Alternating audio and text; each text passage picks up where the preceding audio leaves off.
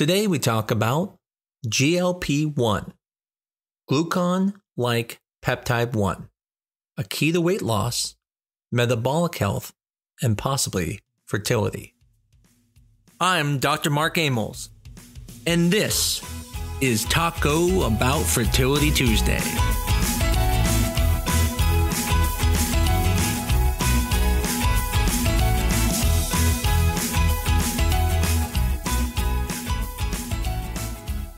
What if I told you there's a medication that can help with weight loss, improve your metabolic health, and even support fertility for those with metabolic syndrome such as PCOS? Well, today we're diving deep into GLP 1 receptor agonists and exploring how they work, who they benefit, and what the latest research is saying. Now, I'll be honest, I'm not an expert in this area. However, I am an expert in things like metabolic syndrome. In fact, most of my research was done on this. And so I'm actually very familiar with the metabolic milieu. It's actually one of the reasons I love polycystic ovarian syndrome so much because it really is a picture of metabolic syndrome in women. Now, it may not sound as fancy saying GLP 1 receptor agonist, but that is basically the medications you've heard like Ozempic. It is the same thing. Now, to understand GLP 1s, you have to understand a little bit more about metabolism in general. See, when you eat food, what happens is the food in your stomach enters into the duodenum, which is the first portion of the small intestines. And there are special endocrine cells that sit in the duodenum that can then that sit in the duodenum, and then those send a signal to your pancreas through creation of GLP 1 because it knows that your glucose levels are going to start going up because of this food. Now, the GLP 1 goes to the pancreas and says, Hey, I'm going to need you to make some insulin here soon. Now, it doesn't just make the insulin, but what it does is it, it makes it more active. So when the glucose levels then finally go up, then at that point, the GLP 1 receptors will make it more active and you'll make more insulin. And the important part about that is, is that you don't want glucose levels high in the body all the time. There's a couple reasons for that. One is diabetes. It's actually harmful for your blood vessels to have glucose levels high. But the other thing is, is that if the glucose levels are high all the time, your body will keep making insulin. Especially your body is not sensitive to insulin, it might even make more of it. And insulin is a growth hormone. It's anabolic, which means it will cause weight gain. The way it causes weight gain is it causes your body to want to absorb more of that glucose and store it as fat cells. And then this becomes a bit of a vicious circle because the fat cells increase insulin resistance, which causes higher insulin levels, which then causes a vicious circle. And so many people who have metabolic syndrome, such as PCOS, will know that there's eventually a weight they get to where they really don't lose weight anymore even if they did the same thing they did before they gained the weight. So let me give you an example what I mean. Let's say for five years, you eat 1500 calories. And then, you know what? You meet someone, you have lots of fun. And for that next year, you eat 2000 calories. And now you've gained 25 pounds. And unfortunately, your body has now undergone a metabolic change.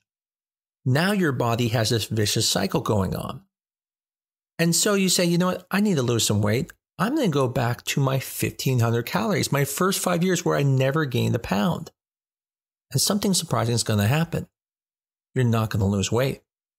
Matter of fact, you may even keep gaining weight, maybe slower than before, but you're not going to lose weight. And the reason why is because of that vicious metabolic issue. The problem has already begun. You have these high insulin levels because of your insulin resistance.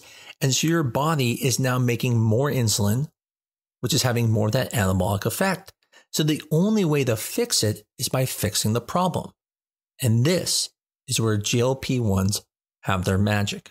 Because GLP 1s help the body make insulin to the glucose levels, it's able now to reduce the glucose load, and then eventually reduce the of insulin being released. By stabilizing the glucose levels, is able to help then your body go back to the normal metabolic rate it was before, helping you lose weight back when you're at that 1500 calories we talked about in that example. Now, GLPs also help weight in other ways. So, other things they do is they help with gastric emptying by slowing it down. And the benefit of slowing down gastric emptying is when you have a large load of food that falls right into the small intestines, your body has huge blood sugar spikes. And that causes huge amounts of insulin to be released, again, causing more storage of the glucose as fat cells. So by slowing the gastric emptying, you are now lowering those spikes, lowering the amount of insulin that needs to be released, but it's also doing another thing. It makes you feel full. We call that satiety. You don't feel like eating anymore because your stomach feels full because it technically is a little bit fuller. But it even goes further than that. It also causes glucagon, which is another hormone released, but it suppresses it. And glucagon causes your glucose levels to go up. It actually causes glycogen to be broken down into glucose. So by suppressing that and not releasing glucose, and by increasing the amount of insulin for glucose levels going up, by getting the glucose levels down, it's able to stabilize your sugar levels, stabilize your insulin levels, and, as we talked about, suppress some of your appetite. But it goes another step. It actually goes further. It impacts the brain's hunger centers, which is in the hypothalamus, reducing cravings and overeating, which is one of the keys of sustaining weight loss. So this sounds like the most amazing drug on earth. It should help everyone, right? Wrong. See, it's not causing weight loss. It's helping people with this metabolic milieu be able to have weight loss. If you are someone who doesn't have insulin resistance, doesn't have glucose intolerance, then you're really not going to benefit from this much because it's not attacking your issue.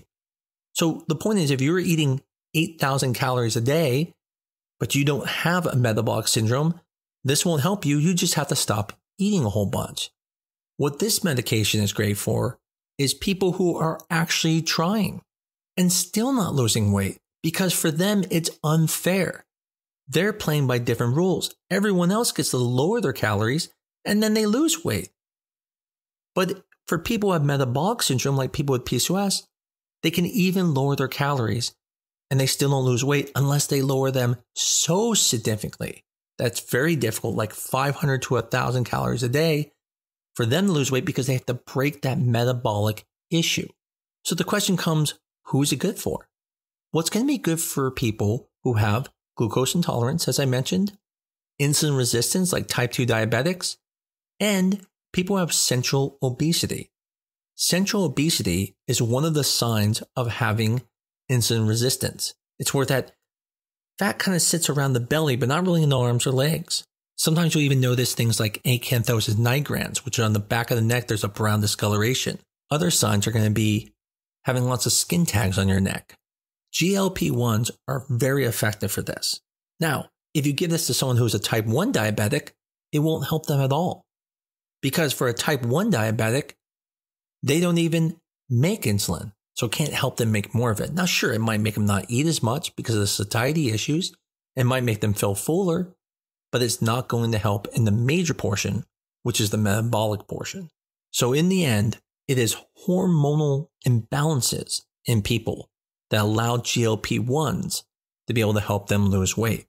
Now, unfortunately, when it comes to medicine, there has been this gaffe where they tend to think that because you're overweight, that can be causing infertility. And although that can be true in certain situations, weight itself does not make you infertile. But if you have that central obesity, insulin resistance, or glucose intolerance, such as polycystic ovarian syndrome, then yes, you have a syndrome that happens to be exacerbated by weight, and then that can cause infertility. So, why am I bringing this up? Because GLP 1s can actually help you get pregnant because of the fact that you will fix that metabolic syndrome by making the insulin resistance lower, which is causing a barrier right now to fertility because you're not ovulating. And so There are many people, which they call Ozempic babies, where women have got on GLP 1s, had significant weight loss. That weight loss causes insulin resistance to drop. And then that insulin resistance being down causes ovulation, which improves pregnancy outcomes. This is technically no different than the med metformin. People have been using metformin for many years with people with polycystic ovarian syndrome or with metabolic syndrome to reduce insulin resistance. And by reducing the insulin resistance, that then allows the body to start ovulating again and help improve pregnancy. Even the environment of high insulin resistance causes inflammation, and that even affects the quality of those eggs. So, things like metformin and GLP 1s, by lowering insulin resistance, even reduce inflammation in the body, lowering CRP levels, as well as reducing inflammatory factors. But it's important to understand there's a very big difference between metformin and GLP 1s. Metformin and GLP 1 have one thing in common. Neither of them are going to cause hypoglycemia because none of them cause insulin levels to go so high that it bottoms out the glucose. See, GLP 1s do increase insulin levels, but they only increase insulin levels in the environment of high glucose levels. So think of them as more of an enhancer.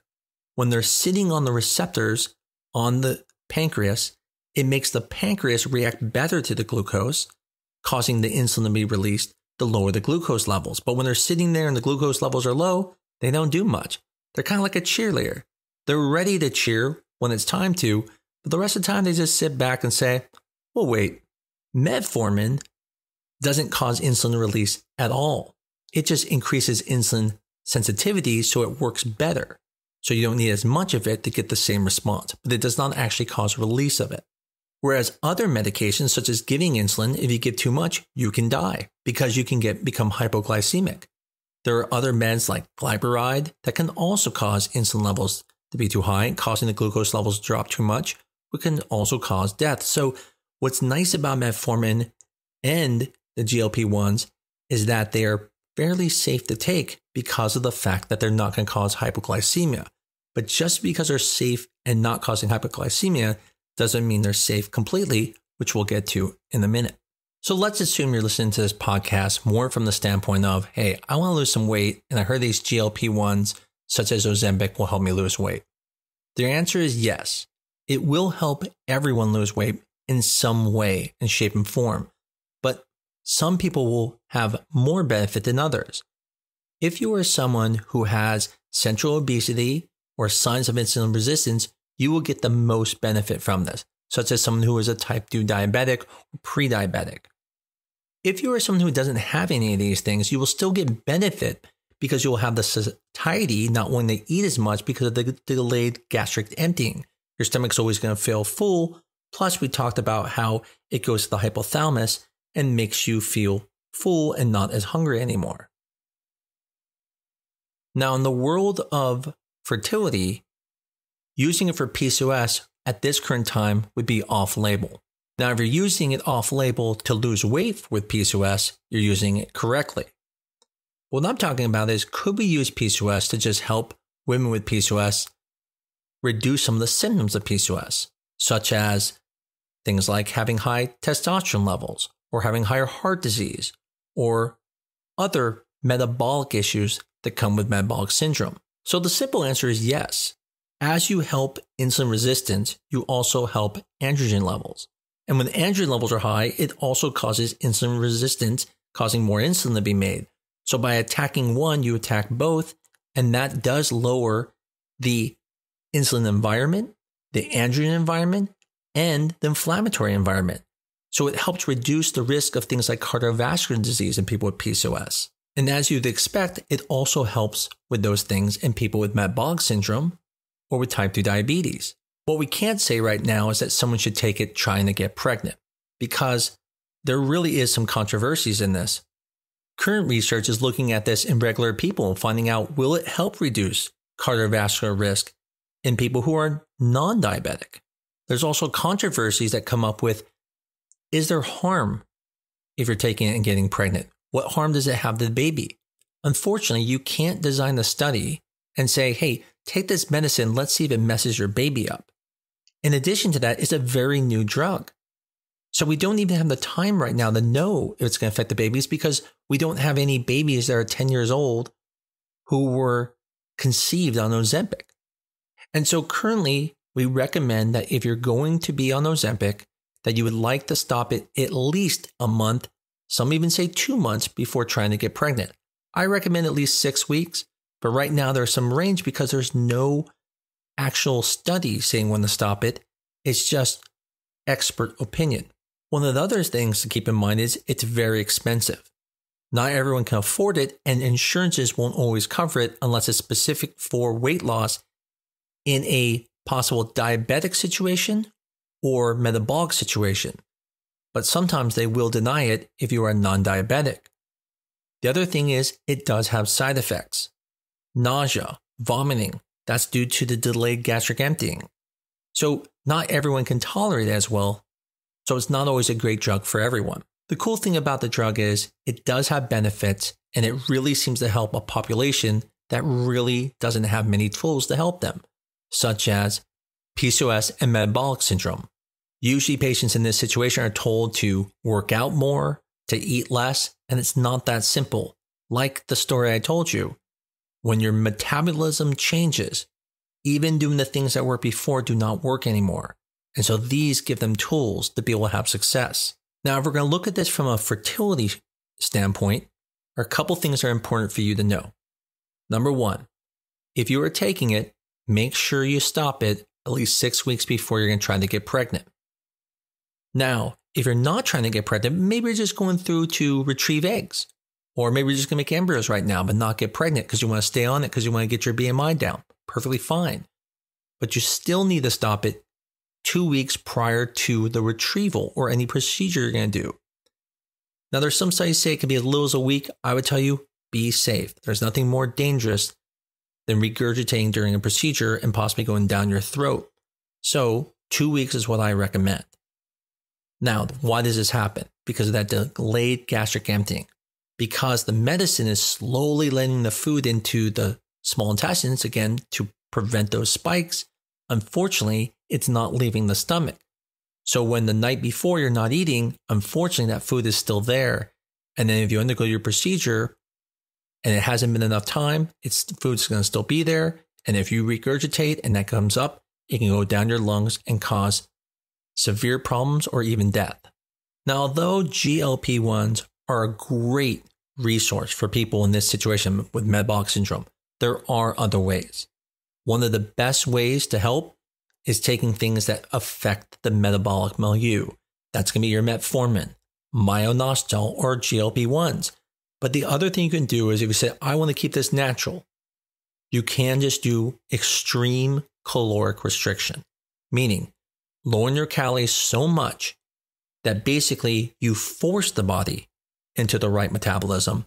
And you have to do that until the weight drops to a point where you're no longer in that metabolic milieu that creates this environment. And so that's going to be caloric restrictions around 500, no more than a thousand calories per day. GLPs are very promising. And if you're thinking about getting on them, talk to your health care provider especially if you have metabolic syndrome, PCOS, or other conditions such as diabetes type 2, where it may benefit you. I don't know if you're going to maybe want to use GLP 1s. Maybe you have a friend who might use them, or maybe you just want to know about them because all the famous celebrities are on it now. Hopefully, this episode was helpful for you and you're able to learn a little bit about this new emerging drug that seems to be everywhere now. I want to point out one more time I am not an expert, but I am an expert in metabolic syndrome. And this drug is really a magic bullet for people with metabolic syndrome. If you like this episode, please tell a friend about it. Tell others about maybe someone who just wants to learn about GLP 1s and doesn't even care about fertility. And most of all, if you like us, give us a five star review on your favorite medium. As always, keep coming back. I'll see you next week on Talk About Fertility Tuesday.